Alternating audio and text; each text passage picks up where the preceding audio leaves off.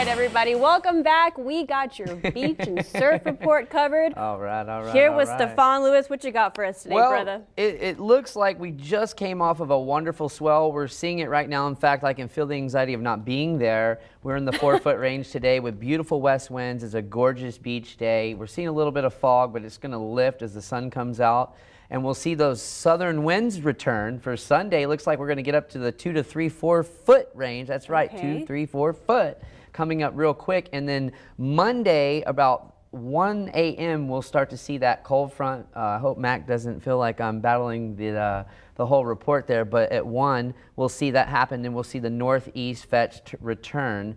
And then as we get into Tuesday, you'll see that front linger a little bit. So it'll be about 47, and you'll have that 4 3 wetsuit on, and, and you'll be crazy like me out in the Nice. water. Hey, you're out there when it's like 30 degrees. I don't know how you do it. oh, it's a lot of praying and a, and, a lot of I got to go out there and get what Hey, I need. Got to get my fix. That's you know? right. That's passion right Yeah. there. So I have to ask you. Obviously, this morning it was extremely foggy. It was dangerously foggy. Right. Um, what day would you recommend if I want to go watch the sunrise? What day would you say it would be a good day? Well, Saturday I, or Sunday? I would say Saturday because again we'll have the uh, lighter winds and then we'll start to see the southern wind blow and so that'll blow it all inland and uh, we'll see the atmosphere warm up. But uh, you're seeing a big fluctuation from cold to hot, so Mm-hmm. that's why you get all that moisture in the air and.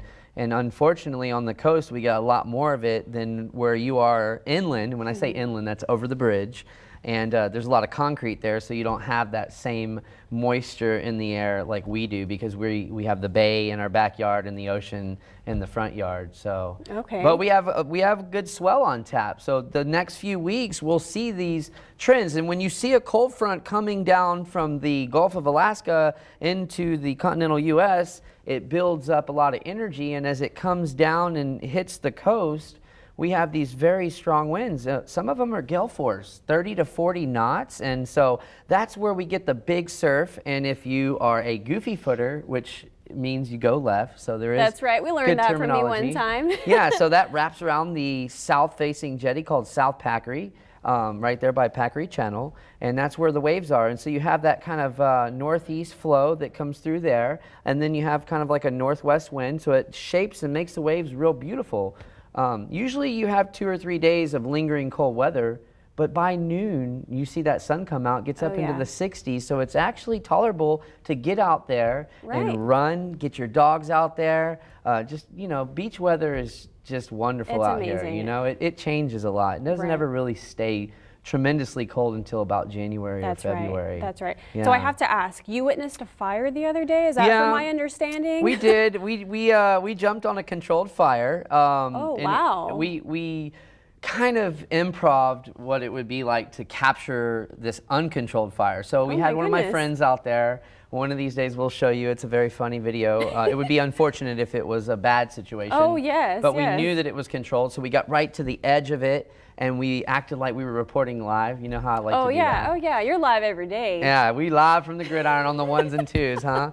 So, but you know, we, we did that, and it, you know, we, we do that. It's good that we have that uh, land conservation where we go out and we burn that because we have to control that. Come in the summer months, if it's a very if it overgrows and a fire starts, we have a big, big situation. Oh yeah, we and do. So uh, it's good that we're out there managing that, Mm-hmm. and uh, it was definitely like uh, apocalyptic looking as the the smoke was just filling the sky. I wish I had. I was going to say, please, next camera. time share photos Yeah. and videos so we can obviously air it, and that would be great. Yeah. I mean, I'm glad everyone was okay though, right? Oh, absolutely. Okay, good. and, and so we had firefighters on the scene. We love our firefighters. Uh, I don't think we realize how important they are to Yes. Mm-hmm. show up to the scene of an accident or fight a house fire. I mean, they are just ready to go 24/7. Thank you, God, for for these men and and uh, and women. And uh, so, anyways, yeah. So we're just out there on the island acting a fool. Usually, we're we're always chasing the surf. But anytime we get a chance to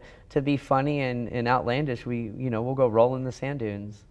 Wonderful. Yeah, Well- absolutely. Well, thank you for sharing your story and the beach and surf report. Uh-huh. I'm I'm excited to watch that sunrise this weekend. Yeah. All you surfers out there, looks like uh, and the meteor shower. and the meteor shower, Tonight. of course. That's going to be great. It's going to be beautiful. Yes. All right, well, we have lots more to cover here on Coastal Living. If you're wondering what you're going to do this weekend, we got you covered with Around the Bend. We'll be right back.